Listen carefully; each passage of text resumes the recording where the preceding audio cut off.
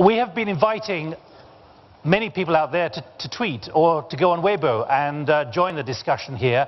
And on Weibo, we've actually had 280,000 tweets, or Weibos, whatever they're called. Um, but that kind of level of intervention, and I want to just show you the kind of things for this uh, session which we've been receiving. Uh, we haven't ruled out a lot of stuff, but we can't read 280,000 tweets or Weibo postings to you. Uh, this is the kind of thing. Uh, the internet is such a brilliant tool, but it brings all the flaws and failings of humanity into sharper than comfortable focus. Technology is changing lives, but unevenly due to the digital divide affecting the poorest of the poor. How do we change this? Notice there the hashtag WEF.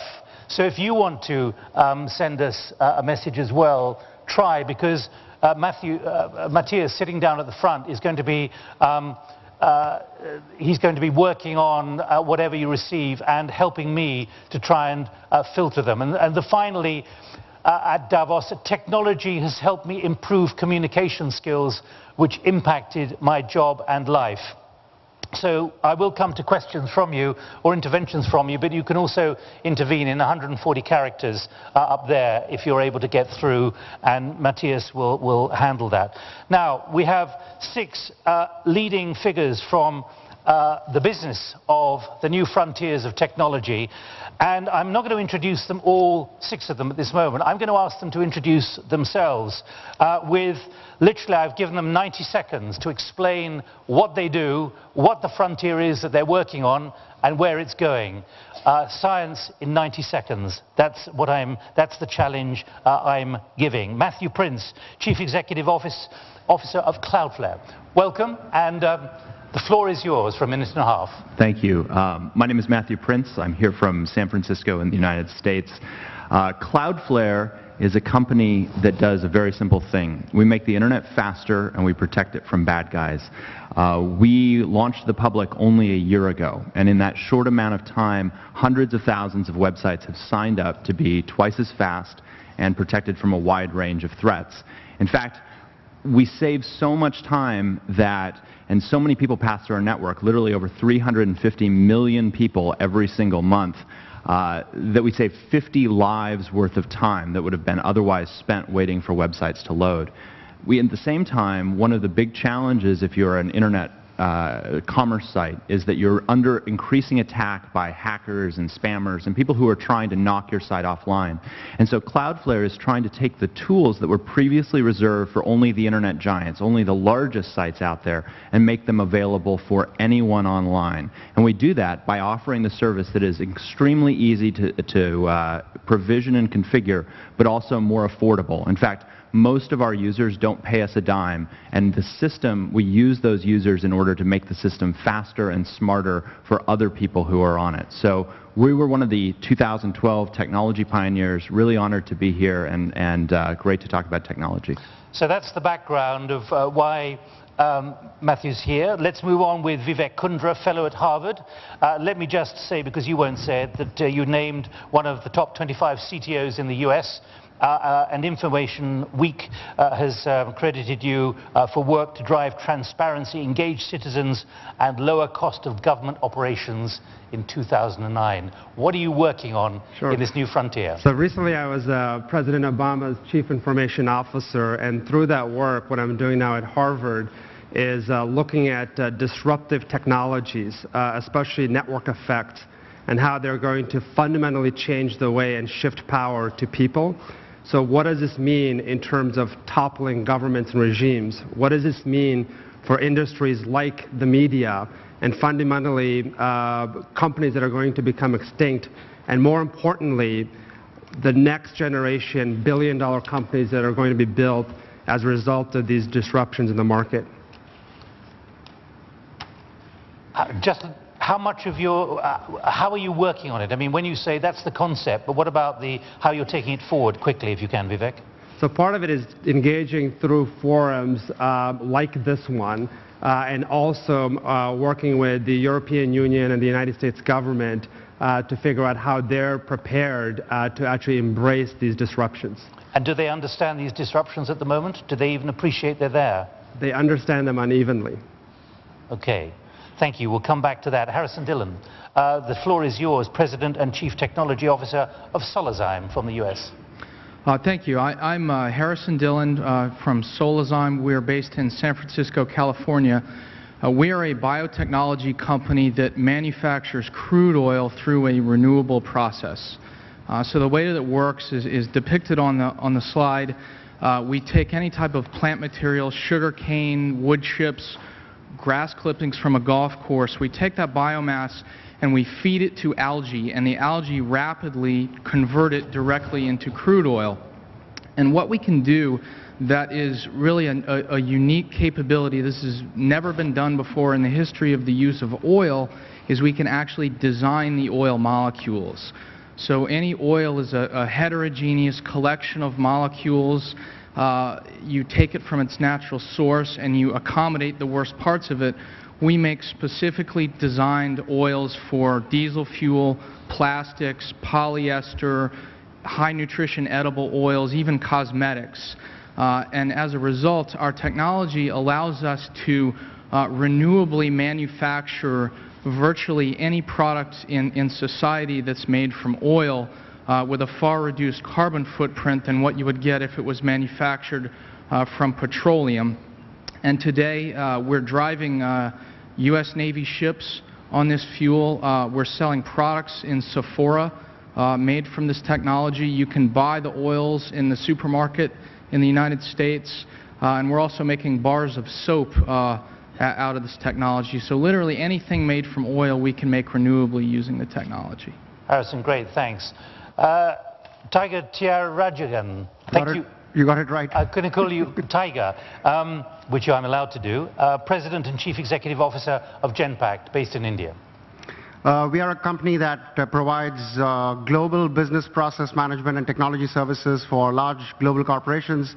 Uh, started off as a subsidiary of GE, now an independent company. And we deliver these services from 17 countries, 50 locations. The value proposition we have is very simple very few people teach process as a science. It's not taught in universities. It's not taught in organizations. We've built over the last 13 years, using our heritage of Lean and Six Sigma, a whole science around processes at enterprise levels. And we then use that to deploy them for our customers and clients and run processes for them to drive better outcomes from those processes. The other thing that we do is we take data, which we all know is plenty in organizations, and then troll through them and build intelligence and insights for our clients. We call that smart decision services. And really, both those are the way we drive value for our clients. Now, Nathan Wolfe, thank you. Uh, Tiger. Nathan Wolfe, uh, you are Chief Executive Officer and founder for Global Viral Forecasting from the US. Yes. And what we do is we develop solutions for primary human problems by interrogating the unseen world of microbes. So here in the slide you see uh, a virus. This is actually, believe it or not, the most common form of life on our planet. If you think about your bodies, you think of them as primarily human. Uh, only about 10% of the cells in your body belong to you as a human. The other 90% of them are actually microbial. And over 99% of the genetic information of your body is microbial, and yet we're only starting to see the technologies available to really allow us to explore solutions in this space. Uh, some of the low-hanging fruit that we've focused on over the last five to 10 years has been pandemics. As we're increasingly hyper-connected as a planet, we're going to see more and more pandemics emerge. Historically, the approaches to addressing these have been largely ineffective. Uh, they've been following and monitoring individuals. What we do is we target the points at which viruses enter into human populations and spread, and we're not afraid of using any sort of technology. We have a team that's basically focused of software engineers who are pulling together hundreds of thousands of data feeds in order to basically determine through natural language processing uh, outbreaks in open source intelligence and other systems all throughout the world. Um, among the sort of objectives that we have is if you think about the internet as the global nervous system, we really have a question out there, which is what would the global immune system look like? What's the next generation of the way that we're really going to tackle some of these nasty microbes? And also, on the other hand, how are we going to exploit things that are beneficial? Thanks, Nathan. And finally, Jennifer uh, Corriero, who's um, co-founder and executive director of uh, Taking IT, Taking It Global. Thank you for all being here. Uh, what we do is we empower young people to understand and act on the world's greatest challenges. And what we do can be described in our theory of change, which is up on the screen. Um, we're trying to help prepare educators to be able to inspire and develop the skills among their students uh, to be prepared to engage in this globally connected world. Our education system is really out of date. We provide training and virtual classroom platforms. We also have an online community, a peer-to-peer community for youth. It's in 13 languages, and we have members from all around the world that are working on collaborative projects.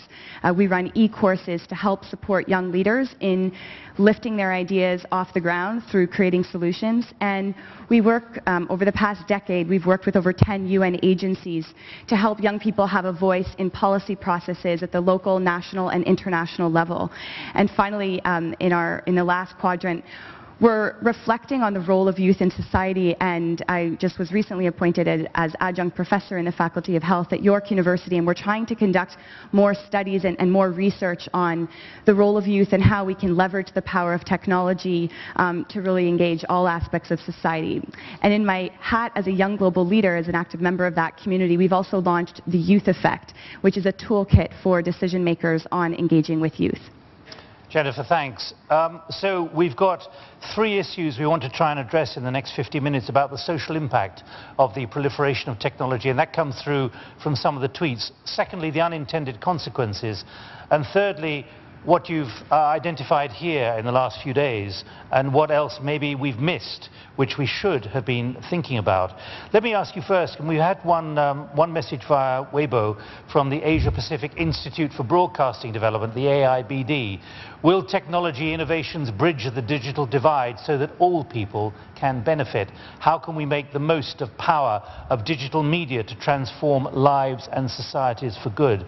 Um, let's bear that in mind as we, we look at the, the first issue about the impact of ubiquitous um, and fast-changing technology on society, those consequences, and how fast much of what you've just described to us is actually going to be felt by society. Matthew. The, the last 10 years um, was about creating the first generation of information technology uh, that really made information available to a significant part of the world. But it was, it was, it was very expensive to you know, start a Yahoo or a Google or something that was, that was doing that.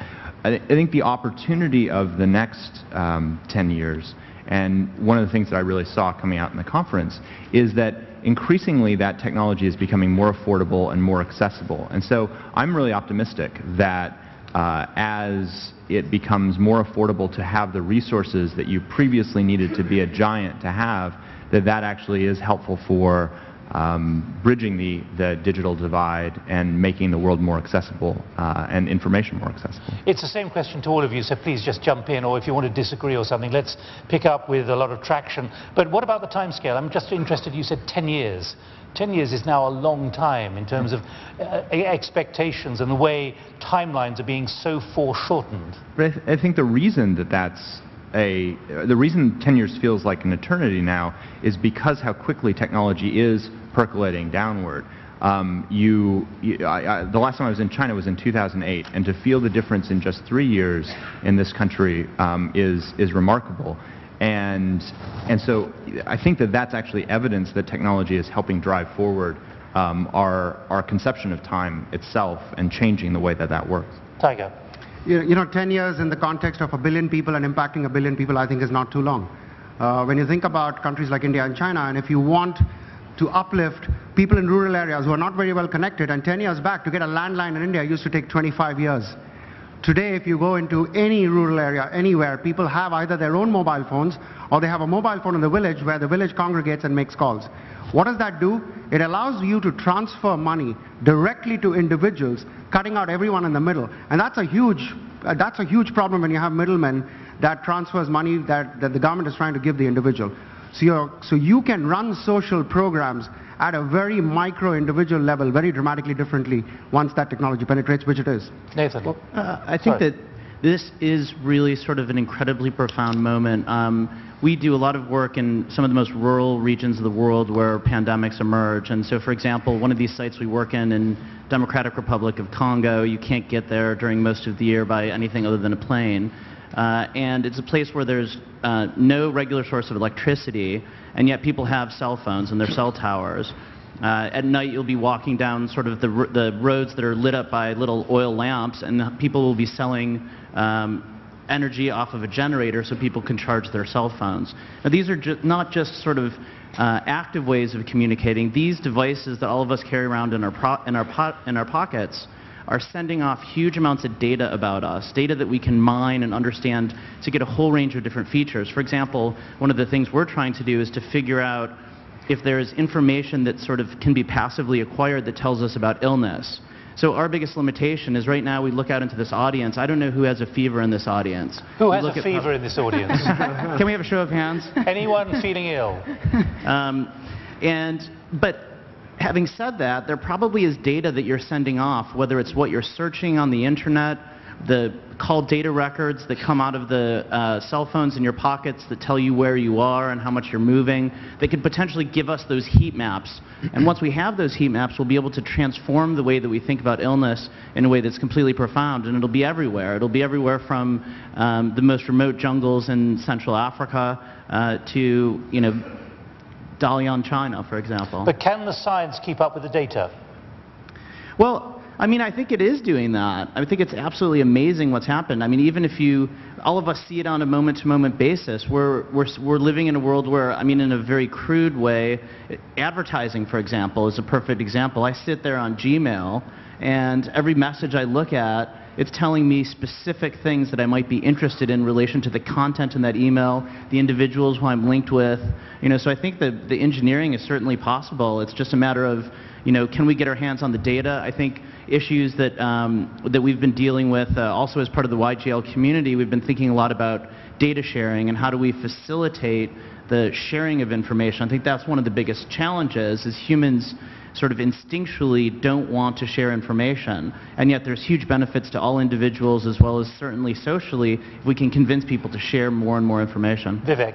Well, I think uh, it's actually not moving fast enough. If we look at uh, the history of technology, you go back to the 1960s. Uh, the greatest technologies were being developed and deployed in most governments. Then you move uh, to the 70s and 80s, uh, that moved to the private sector in most enterprises. Then in 2005, something fundamental happened in terms of the shift in the consumer space. So I would agree that uh, the cost of storage and processing power has led to amazing platforms and innovation that's enabled entrepreneurs to build uh, killer applications. But if we think about it as a society overall, there are far too many people who are still disconnected. They may have a cell phone, but that cell phone doesn't necessarily mean that it's led to their condition being improved in life. Education hasn't fundamentally improved at the pace at which technology, ha technology has.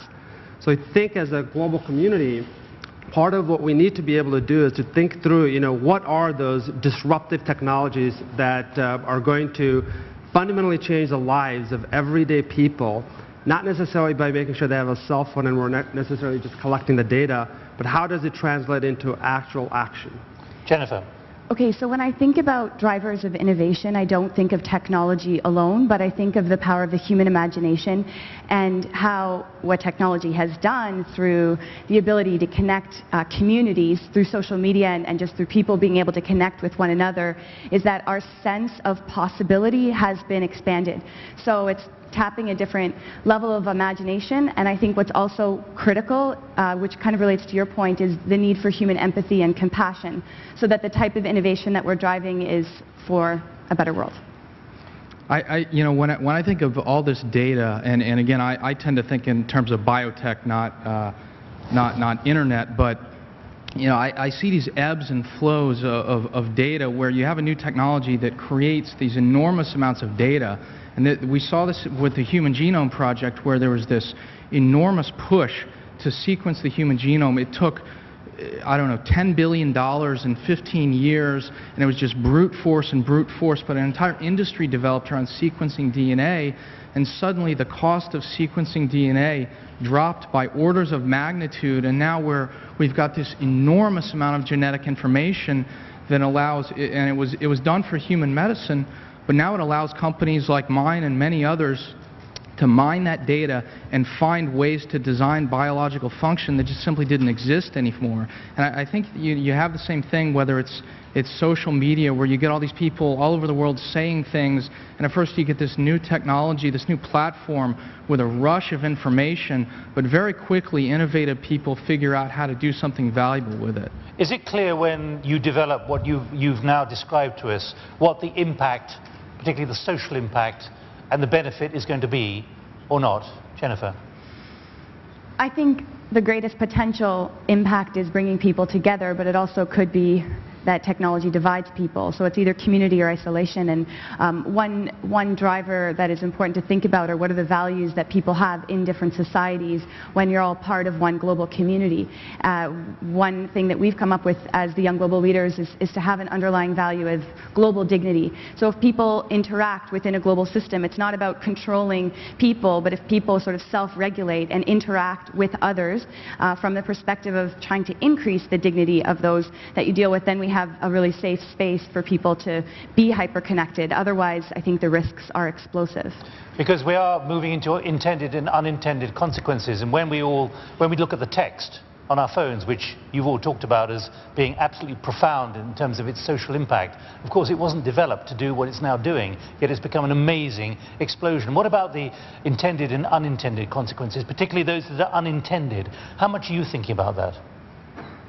You know, I, I think that so one of the things that I, is that I think crystallizes a lot of what people have said is that access to information is becoming easier, um, and that is proliferating. But the ability to interpret information is actually going is because information is growing, that interpretation of information is getting is getting harder and harder. And so my guess is what the next digital divide will be is that ability to actually process and interpret that information, either whether you have the technological resources or the educational resources to be able to do that.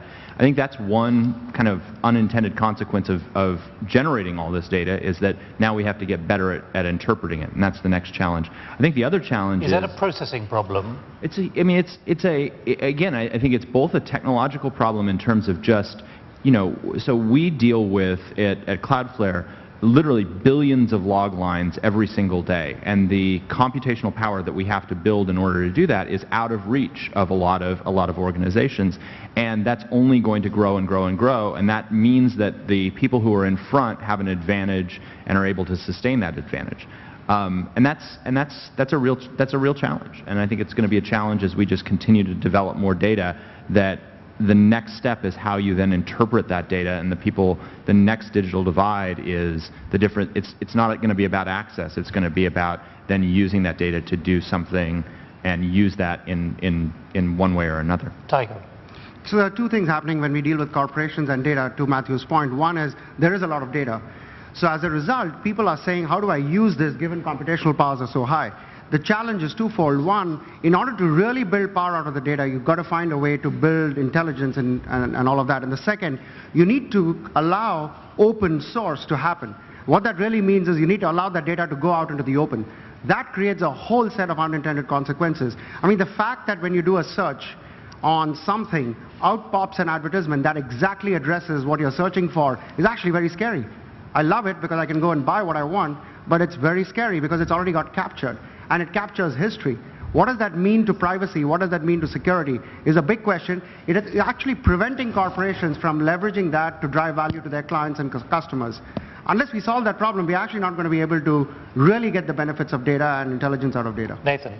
Yeah, I, I, just to counterpoint to that, uh, we had this interesting conversation in a session on hyperconnectivity the other day, and a lot of the anxiety that we have is just very common to when there's major transitions in technology. When newspapers came out, it was seen as a huge um, breakthrough, but also a huge uh, uh, impediment to people's privacy and something that was going to be devastating. I mean, this, we're sort of experiencing a little bit of this anxiety. I think in terms of unintended consequences, uh, and some, in some ways for some of us they may be quite positive, is institutions, traditional institutions and the way they solve problems are going to be thrown on their heads.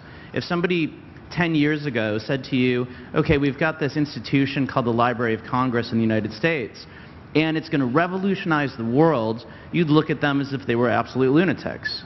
But effectively, that's what Google has done, is it's taken the, the objective of something like the Library of Congress and made information freely available to everyone, there's going to be radical different solutions. The things that we rely on historically to solve our problems, we're going to have to be open to complete and utter change. And I think, you know, ultimately it's going to be a good thing for all of us, but it's going to be very uncomfortable. And on individual levels, institutional levels, there's going to be a lot of sort of debate within government about the need for traditional infrastructure. Now, Vivek, I know you wanted to come in earlier, but I wanted to hold you on this one because I, I thought the discussion would go in this way. Because one of the tweets we've had um, is, should public sector information reuse by the private sector be encouraged by governments? And given where you've just been working and your responsibility as Chief Information Officer, what's your answer to that? So, so my view is that uh, the public sector uh, collects a whole host of data and uh, by actually democratizing that data uh, can help generate not just jobs, but breakthroughs in entire sectors of the broader economy. Just think about certain sectors like healthcare. There's very, very little uh, transparency when it comes to the healthcare sector. And a big part of it is because organizations want to preserve the status quo. Therefore, you don't have as much liquidity in the market or competition. But at the same time, you know, you have to be very careful about what I call the mosaic effect. As this information gets released, all of a sudden, whether it's the government or the private sector, can begin to collect information and create mosaics that were totally unintended. One of the things that we struggled with and worked very, very hard around healthcare was that if you could release data at a state level um, when it comes to certain operations, knee replacement. um, but if you release it at the zip code level, all of a sudden you may be in a rural part of the country and you could begin to identify individuals who had that specific operation or condition. Um, and that becomes problematic. But like any technology or shift, uh, there are always two faces of technology. And we've got to make sure that uh, we're actually balancing the opportunity with the risk that's posed. But uh, I'm a big believer that uh, democratizing data and allowing third parties to innovate on top of that is going to be one of the ways we're actually going to be able to scale and solve some of these global problems that we're talking about. You're saying that on a public platform here in, in China, but what about the resistance you felt from the bureaucracy about that principle when you were in, in, in Washington? Well, there's absolutely resistance. I mean, I remember, um, you know, not, not even just uh, within uh, when I was working at the White House, but also in DC government where we were releasing data around um, murders and homicides and so forth. And uh, the, whether it was the police chief or uh, the schools, where people didn't want to release data because it would reflect on their performance. But we've got to be able to end a culture of faceless accountability and to make sure that uh, taxpayers who paid for these services have a right to know where their money is going and how uh, government is actually working for them. Nathan and Tiger, given what you've just said, I'll come to you in a moment, Jennifer. Is that the kind of direction in which you, you believe we should be moving? Absolutely. I, th I, I think sort of if anything, we need to be prepared for the data deluge. You know, we're going to be in a situation where we're going to have so much data, just to refer to genetic technologies. So one of these questions is when we think about data and we think about information, you know, largely we'll think about uh, linguistic information that's out there. If we're really progressive, perhaps we'll think about uh, code as kind of an information. Most of the information on this planet is genetic information and biological entities, and right now, the sequencing of that information is increasingly becoming a commodity. It's going to be something that's really simple and cheap and easy in the, like in five or ten years, we're all going to be producing a tremendous amount of genetic data. It's going to tell us uh, everything from sort of what exactly is causing us to be ill in terms of a GI illness to where our wine comes from, what region it comes from. There's going to be massive, incredible amounts of data, and we need to prepare the sort of infrastructures that are going to deal with this. I mean, we can sort of focus on a little bit of fear we have about some privacy issues, but at the end of the day, the world is transforming radically, and I think we should just go with that. There's no question that we have to break through the barrier. How many of us can go back in the more developed parts of the world when credit bureaus didn't exist? Uh, by the way, credit bureaus don't exist in the emerging economies in many cases. It makes a huge difference when you syndicate data and then you protect privacy or whatever, but you still syndicate data and then use it to spread credit across the board. Now, one can argue that that's part of the beginning of a big problem that happened much later. But the reality is that that syndication of data has to be done. The first you know, step in that game is to recognize that there is a barrier you've got to break through. Uh, so you've got to talk about that barrier. Can I go to Jennifer first? Uh, just a reflection on data. Uh, what I think is so interesting is how it connects with our identity and our sense of identity. And especially now, if you think about, you know, from the age of birth, you have so much data that can be collected about you as you grow up through the stage, forming your sense of self, your sense of place in the world. And our identity is no longer tied to where we live or religion or um, our culture necessarily. We're globally connected. And we have these sort of digital profiles with us as we as we grow up. And so the question is, um, how do you deal with the potential identity crisis that one might go through? Because you may be defined by how others see you with your digital data uh, rather than how you see yourself. So that, that's something that I think about. I will, does anyone want to come in with a microphone? I have a couple of tweets which I'm going to read out in a moment. Do put up your hand and a microphone will come to you. Vivek. Yeah, so one of the things to think about, where does this end, right, in terms of uh, as you release this data, you democratize it. Think about what this could mean for the global economy and regulations all of a sudden you could start looking at algorithms that would actually adjust on a real-time basis uh, and shift uh, the regulatory regime based on what's going on. Right now, our entire institutions, when we talk about governance, are very static, mm. and they operate in terms of years rather than on a real-time basis. It just, but I, I mean, there's sort of, if anyone's feeling slightly uncomfortable in the audience, I don't blame you.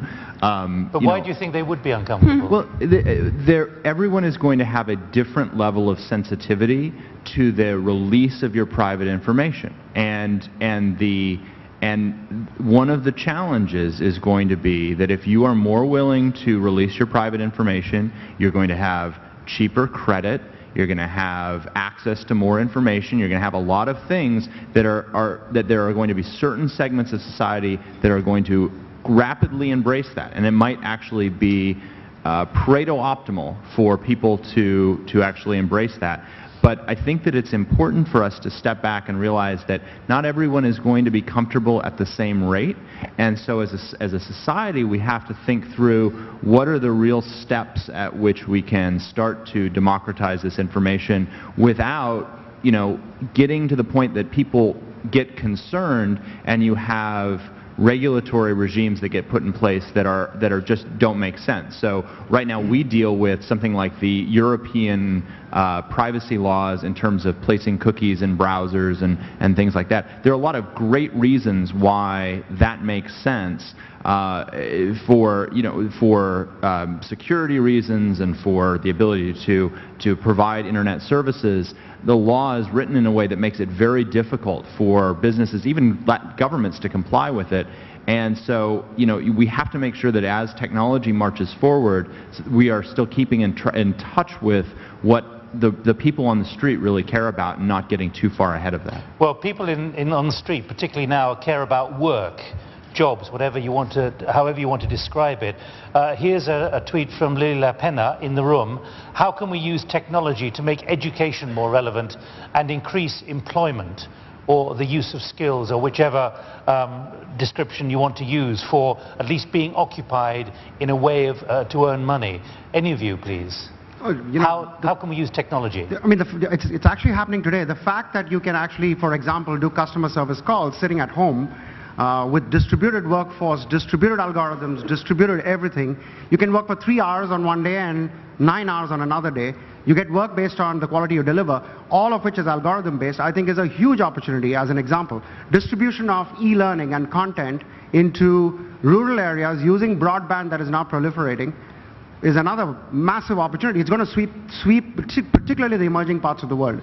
And reskilling people in economies where unemployment rates are now 9% and seem to be very stubborn at 9%.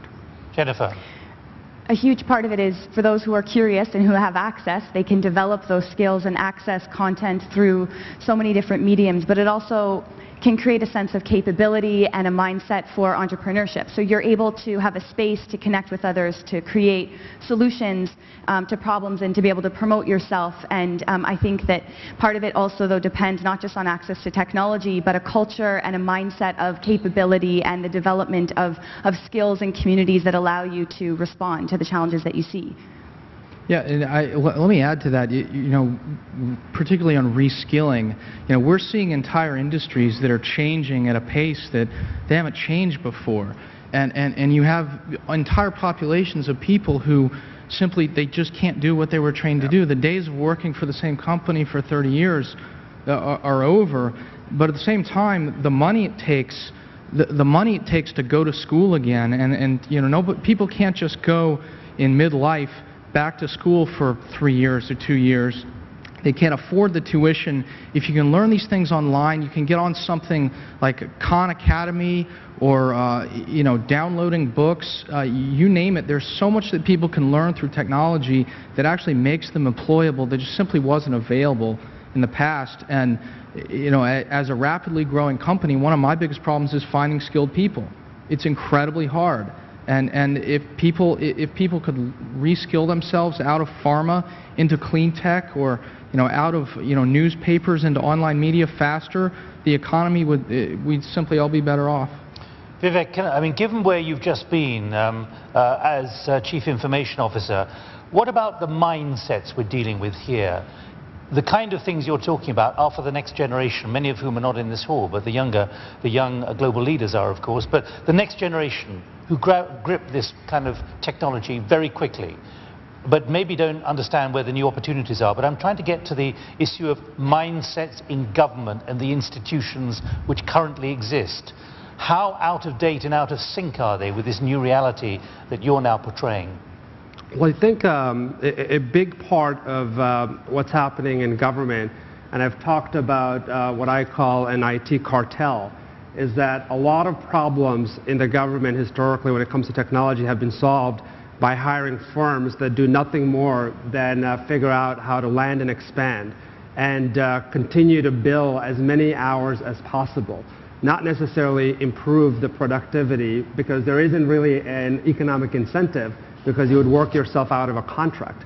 So what's happening with this next generation um, of innovators is that they've grown up in a world where they didn't even know that the internet didn't exist or who invented it.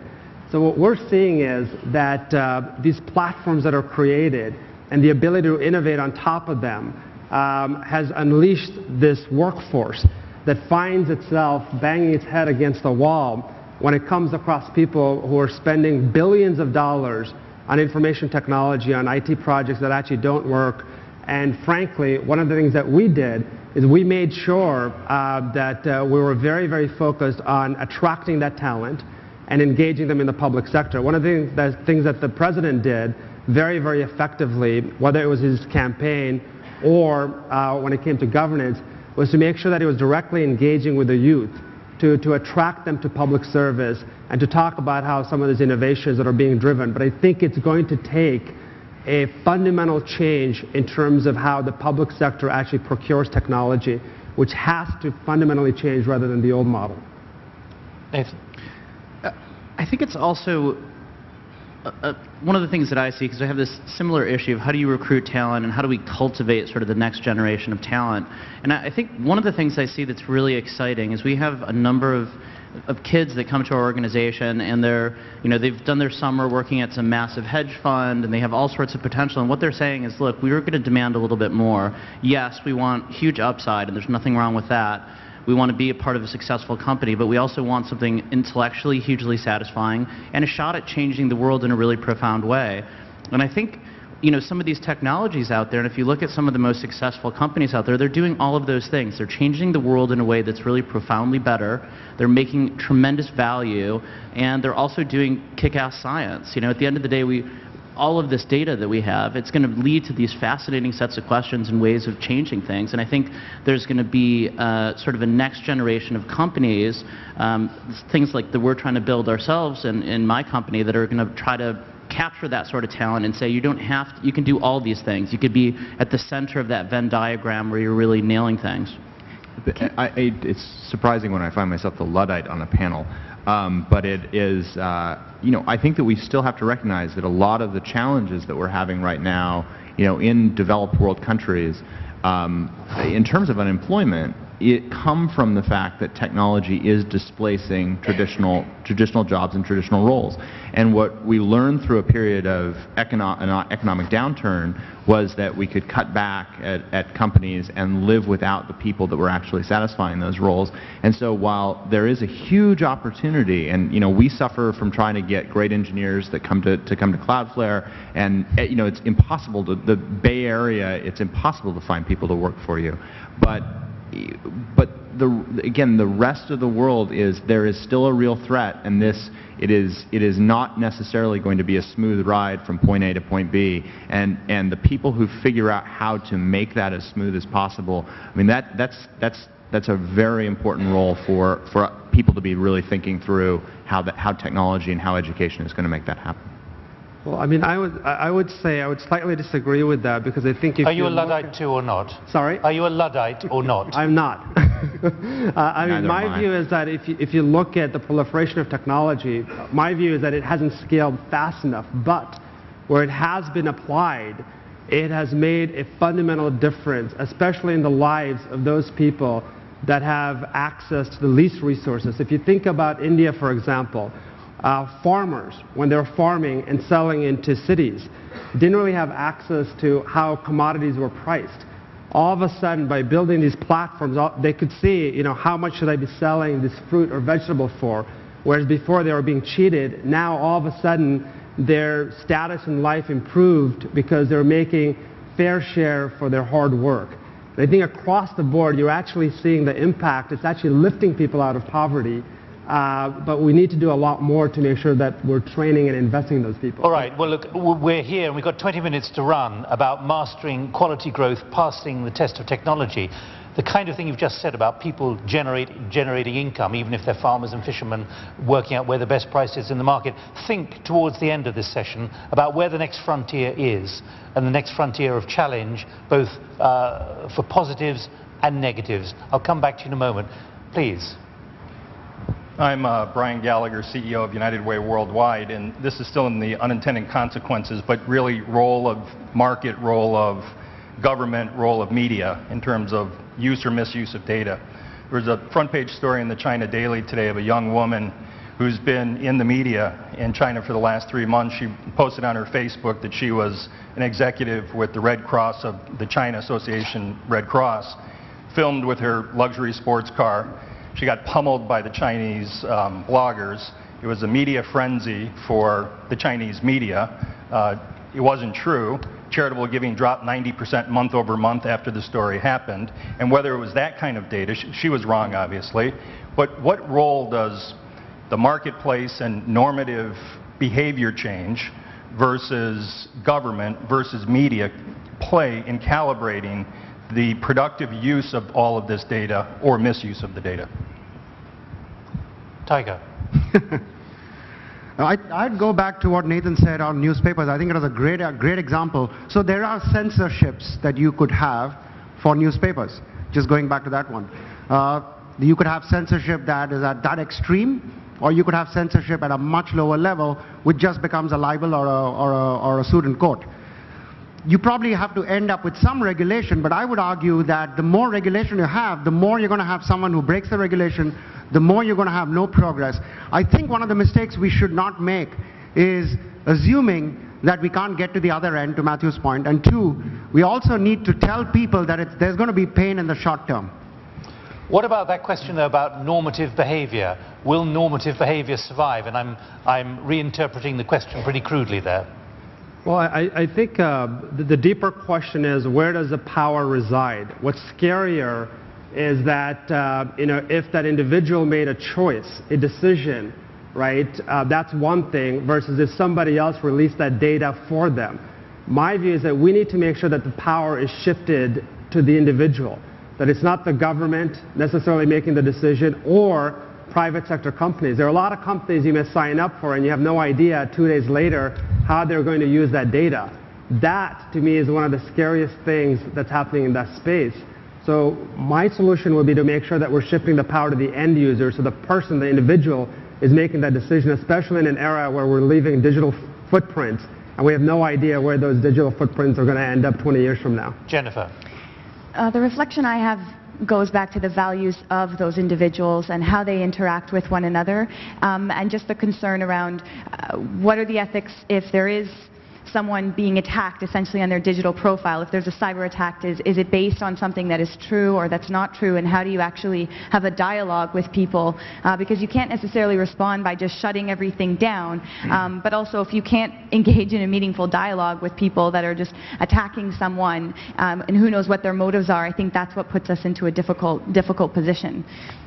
And there's Uh, okay, do you want to come in? I think you're going to speak in Chinese, so you, everyone will need a headset, please. J- just one moment. Uh, you wanted to come in. Who wanted to come in? Oh, I, I was just going to say there's also a real asymmetry that's going on here, where you have individuals that can broadcast information more quickly than than the Red Cross or a, or a government or a corporate in, entity, and so that asymmetry will correct itself eventually. But again, there's a there's a bumpy time that How will it ahead. correct itself? Well, I, I think that you're watching as people are getting much more comfortable, even as, as corporate entities, disclosing information on Twitter in real time as it happens. But it's changing the rules of the game. So you, if you misstep or you do something wrong, the expectation of the crowd is that you will disclose it and you'll be very transparent. That's not the old rule. The old rule was cover it up, don't say anything, you know, figure it out after the fact. That's changed, and I think it's going to take a while for big, you know, governments and corporate entities to adjust to, to how that, that rule works. OK，呃，我叫于乃博， My name is Yu Naibo. I'm from uh, Hangzhou, Zhejiang, China. My company is in the uh, education business. My question is, large companies usually um, occupy a big share of the market. That means they usually have the largest source of information on the market. So what if large companies do nothing about the information, or they do little with the information, or do something wrong with the information, while the little small uh, players can do nothing about it? Will that impede the development of the market? So my question is whether those large companies uh, should um, make the core data available to the entire market. In this new technological leap, Jennifer. Well, my reflection on that relates to what a large company is accountable for in the idea of quality growth. Because when I think about quality growth, it's not just about profit, but also about you know, human happiness and health, um, gender equity, environmental sustainability, uh, these types of ideas. So if the data, the use of data should not just be utilized for the purpose of profit, but also for the purpose of bettering people. Uh, so that's a responsibility I see. Look, uh, coming from Silicon Valley, you know, there's a view of large companies that I think is maybe different from the view of large companies in, in a lot of other parts of the world. I, I, I find large companies to be very slow moving. Um, they're not very nimble. Uh, it's very difficult for them to innovate. And frequently they get outflanked by new technologies. So uh, in, in particular, you're talking about you know release of data. A lot of large companies aren't even able to generate the data that they might misuse faster than a, an innovative company. So uh, you know, uh, my view is that large companies uh, they serve a useful purpose. They're good to partner with. They have a lot of money. They have market access. Um, but there are a lot of limitations to large companies uh, in, in, a, in a free market. No, I, I just second that in a huge way. We see in industry after industry new companies with new business models that are set up to gather data and use the data much better than the big competitors they compete with, and they take the market. Uh, they're just more intelligent on day one. They're structured to be more intelligent on day one. So I, I think that uh, actually the largest companies um, in the space are by far the most innovative. And what I mean by that is uh, from a technical perspective, what they've done is they've moved towards an open API model and actually built a developer ecosystem where third parties can build off of their platforms. So they're doing really, really well actually uh, because they've taken a platform approach. Those companies whose business models are built around closing off data are, are actually the losers of the century. They're not doing that well.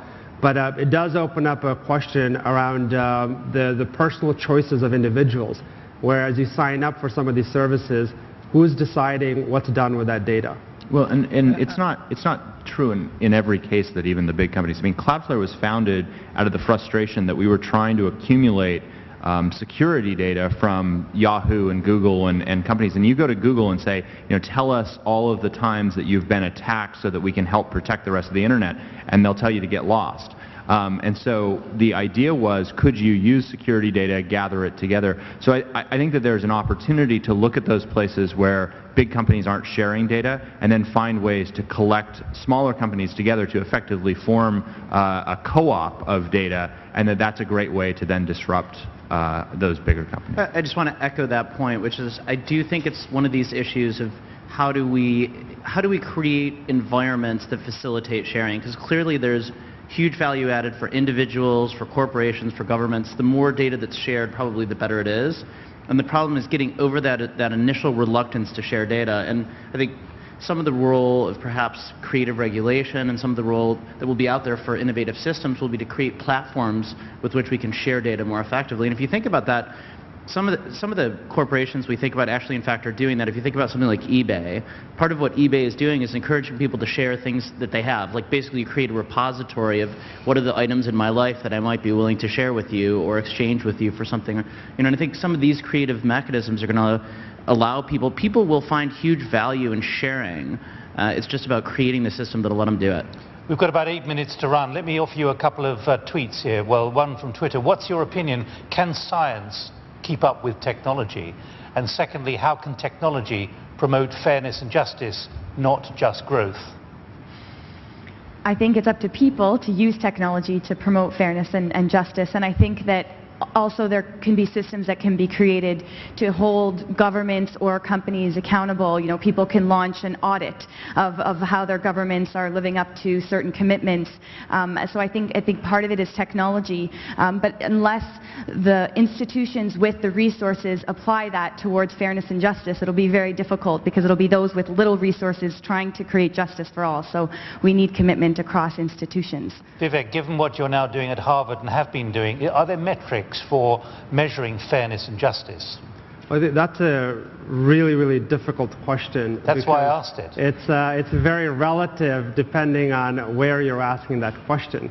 Um, but uh, in terms of uh, the, the role of technology, for example, um, I think part of a huge opportunity that I see before us is uh, in terms of uh, actually being able to fight corruption around the world in terms of being able to shine light on the resources that we've already are bringing to bear on problems that we face as a society, whether it's around education, whether it's around healthcare, um, or the economy in terms of creating jobs. Because a lot of the money, it's, in many cases, it's not a money question. It's just the money is going in the hands of the wrong people. And the ability to basically just shine light and figure out where's that money going, who got it, what did it produce for us, can have a huge impact on making sure that we're creating a more equitable society.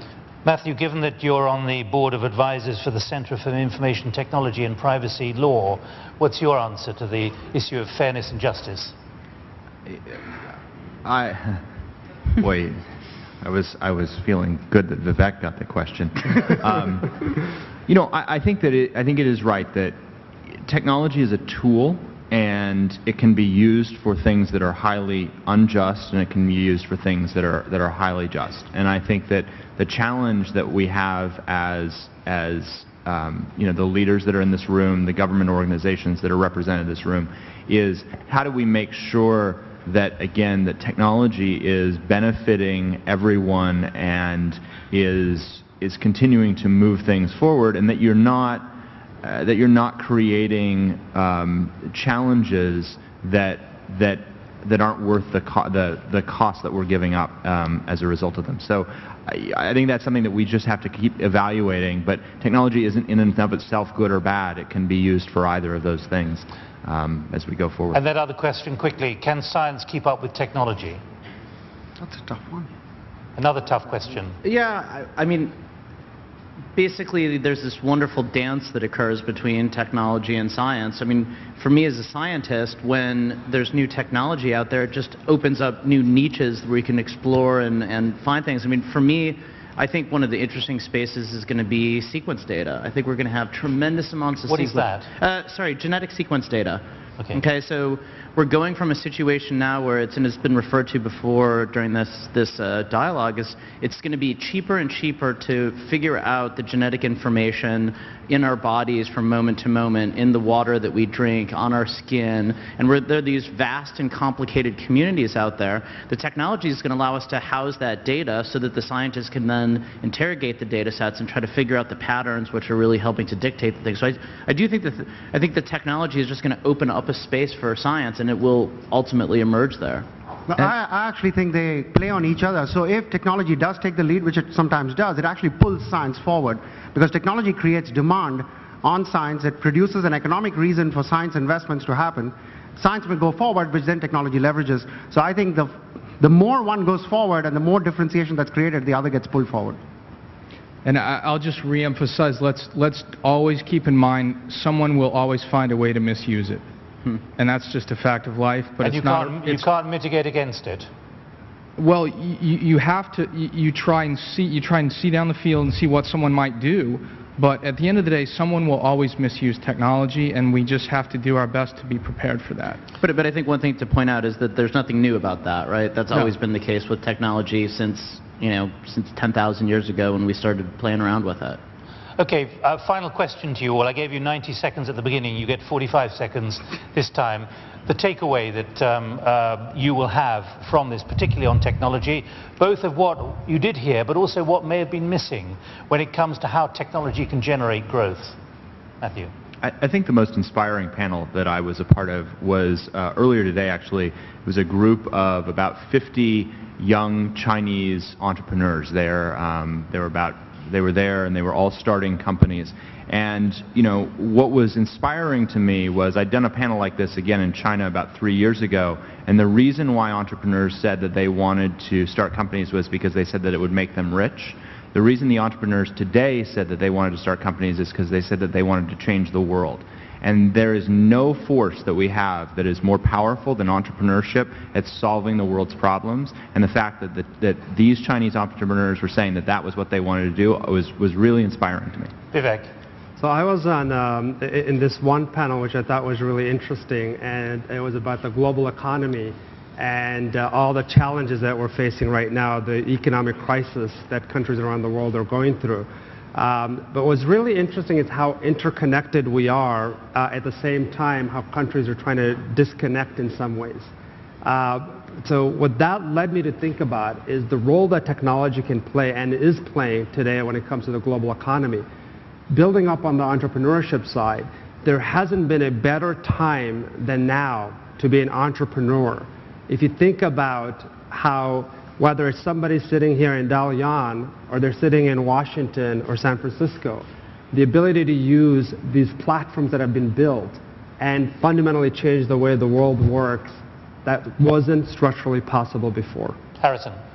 Uh, I'm in a very high growth company, and I tend to spend a lot of time uh, thinking about what our biotechnology can do, and I don't spend a lot of time thinking about things like social media. Uh, and what I gathered from being in a much more general environment and hearing about social media and software and IT and all the things that are happening made me realize how much of the growth that I'm part of is actually driven by these other things. We do executive team meetings every week. People are on four continents when we have them. We promote our products with social media. We benefit from the Human Genome Project. None of that was intended specifically to help us do what we do, and yet we're a very, very high growth company and we benefit from all types of technology, not, not just our particular niche that we're really well known for. Tiger. You know, we are, in a, we are in a company which serves a large part of the corporate world with services. And for us, searching for the next innovation that we can bring back to our client base is, is our business model. You know, one of the big learnings was you must throw your net really wide these days to gather that innovation. It could be happening in a part of the world that actually you don't spend enough time in. And the other one was get closer to your customer because the chances are you're going to co-innovate with them much better. And breakthrough innovations happen when that happens. Nathan. So I, uh, within the last couple of years, I took a, a bit of time off of uh, teaching and, and running my business to write a book, which is coming out. And, and one of the, the basic things that I found so interesting is I was interested in this question of why do we experience so many pandemics right now? Why are we experiencing these? And the answer to it And the answer to, to really the, the, much of the history of the problem was connectivity between humans, connectivity between animals. And what sort of emerged was this really interesting sort of uh, race between different kinds of connectivity. So this, we are in a world where we can move much more quickly, goods, people, animals, all these things, everywhere around the world. If you look at a map of sort of flight patterns and you look at a map of flight patterns 10 years ago, you're looking at something even 10 years ago is pretty minimal. Now you see this plate of spaghetti. We're really sort of one massive metapopulation. And the real question is, will this sort of electronic and digital connectivity allow us to keep up with the threats that we face based on the sort of physical and transport connectivity? Um, I'm, I'm, I'm, I will tell you sort of the the end of the book, which is I'm, I'm, I'm bullish. I do think that technology is going to get there and allow us to address this. But um, you know, it's, I mean, in some ways, I think we can just all be uh, sort of amazed to live at this moment of history where we can experience sort of these sorts of things and change can happen at this speed. I hope it's uncooked spaghetti in a straight line, not, not cooked and uh, wavy. Jennifer.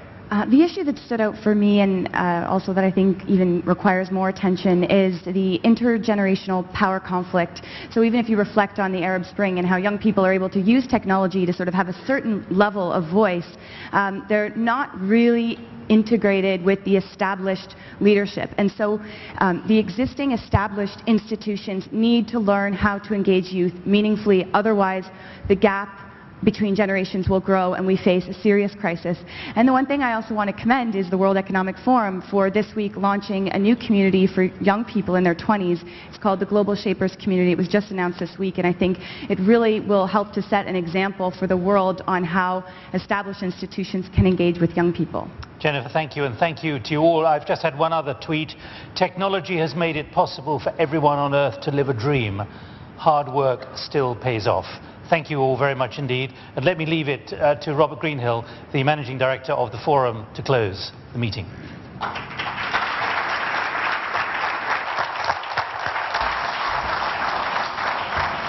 Well, thank you very much, Nik, and thank you all. Over three days, 1,500 leaders from 90 different countries have gotten together to discuss the issues, to develop new ideas, but perhaps even more important, to develop new friendships. So what's come out of all these different conversations? Well, certainly one of the big themes was the focus on the global economic situation, the challenges uh, with the U.S. fiscal situation, the ongoing um, uncertainty in the, in the Eurozone, counterbalanced by the tremendous vitality here in China and other emerging markets. And Premier Wen made it clear that China was prepared to do its part, but actually that the rest of the global family needed to help as well. And in fact, one of the key themes that came out was this need for collaboration across countries, but also, and one of the points made here, the collaboration across generations.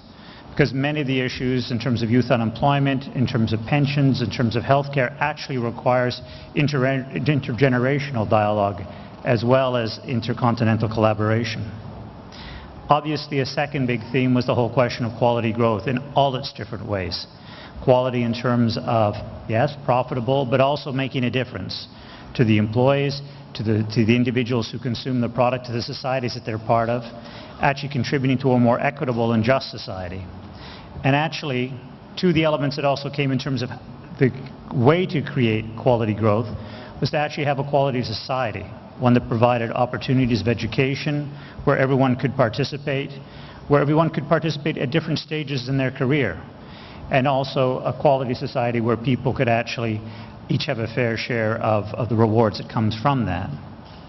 Another element that came up in many of the conversations was, well, quality growth comes from, high quality growth comes from high quality companies. Companies that actually have an ethical frame, that have a leadership that's not corrupt, that actually believes in its core, not just in its CSR programs, to actually make the world a better place, and actually walks the talk from the CEO right down to, to the newest employee.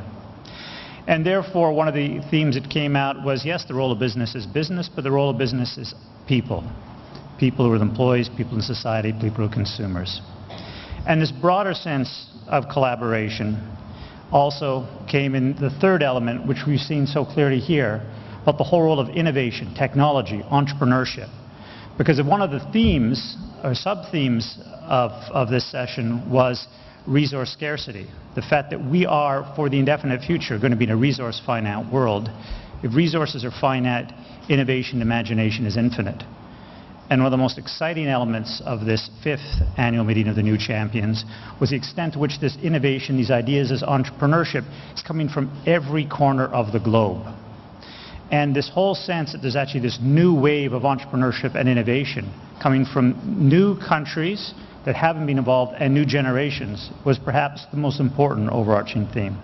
So in fact, I'd like to finish with what Jennifer just mentioned, the incredibly important symbolic launching of the Global Shapers community, those people in their 20s, to ensure they're fully engaged in this innovation, this entrepreneurship that will help us together deliver quality growth.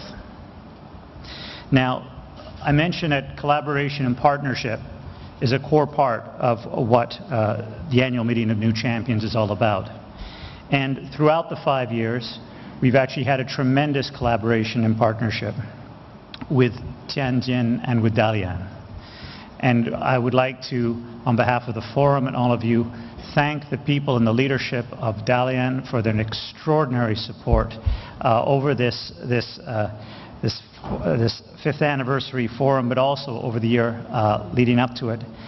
And I'd like to invite the Vice Mayor of Dalian, Cao Aihua, Vice Mayor of Dalian, to address the podium. Thank you.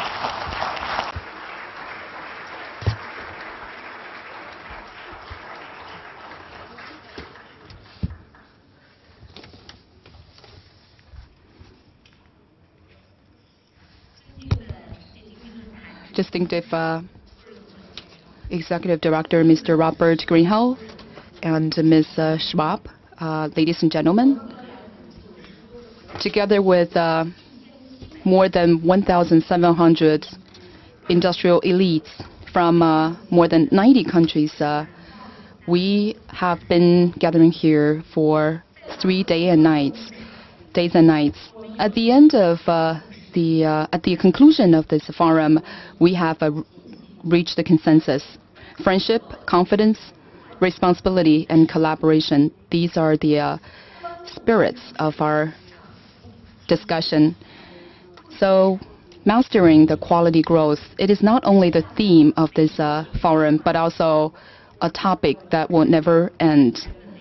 And we also see the efforts people have, have uh, made to achieve this and we also see the possibility of translate dream into translate this dream into reality. Five years ago, in September, the first Summer Davos uh, Forum came to China, came to Dalian, just like uh, Premier Wen, His Excellency's uh, remark at the opening ceremony. He said, the uh, Summer Davos Forum has uh, reached a consensus after five years of experience we're targeting the world, targeting the future, and targeting innovation and targeting the youth. In the past five years, the World Economic Forum has been developing by itself. Meanwhile, WEF impacted Dalian profoundly. Professor Schwab's uh, comment saying that Dalian, the city, is uh, gradually becoming a very good platform for economic development and international collaboration. As a person who's been here for so many years, I'm convinced that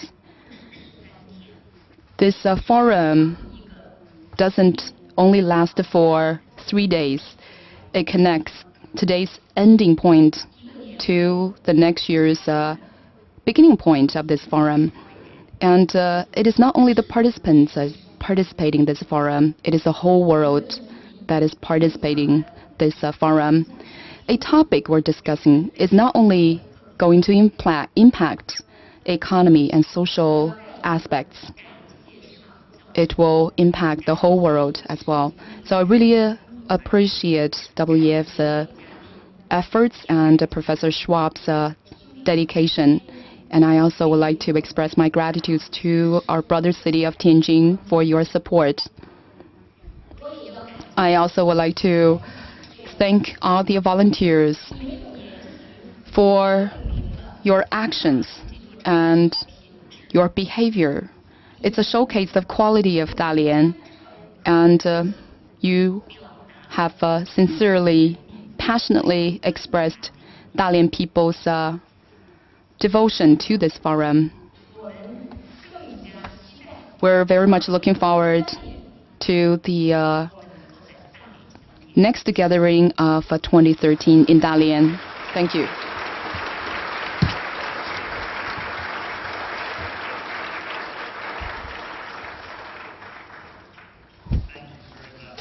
Well, every end is also a beginning. And with the end of the fifth annual meeting of new champions comes the beginning of the preparation for the sixth annual meeting of new champions. And so it's now my great pleasure to ask the Vice Mayor of Tianjin, Ren Xuefeng, to address the, the group.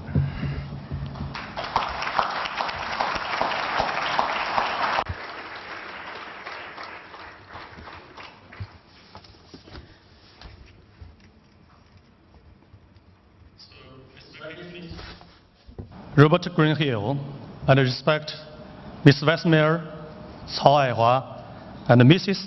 Schwab. Ladies and gentlemen, at the moment of the Summer Davos 2011 coming to the end, on behalf of Tianjin Municipal Government, I would like to express my sincerest congratulations to this great success. At the op opening plenary, Premier Wen Jiabao delivered a speech with a uh, attractive huge attention and became highlight of this annual meeting.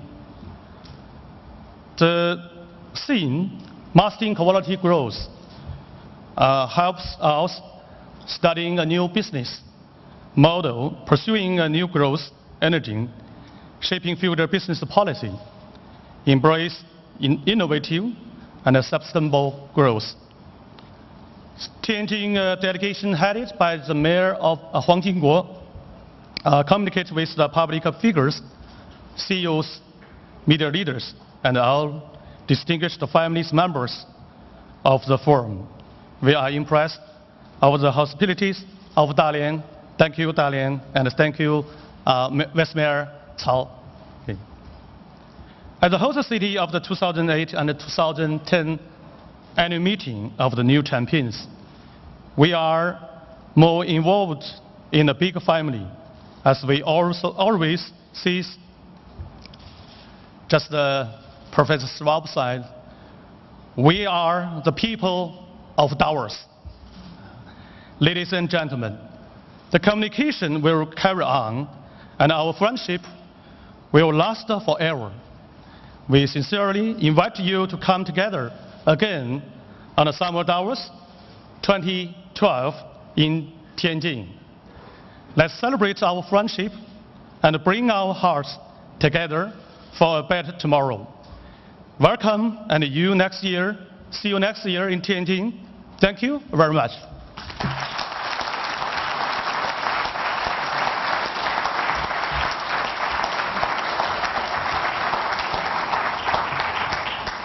In closing, I would like to thank, on behalf of, of Klaus Schwab, the management team, and the entire forum, the people of Dalian for their hospitality and their engagement, and the many volunteers who, who gave so generously of their time and their, uh, their enthusiasms of the last few days. I would like to also thank the, the staff of the World Economic Forum and Jeremy Jurgens, who for the fifth year has been organizing this on our behalf.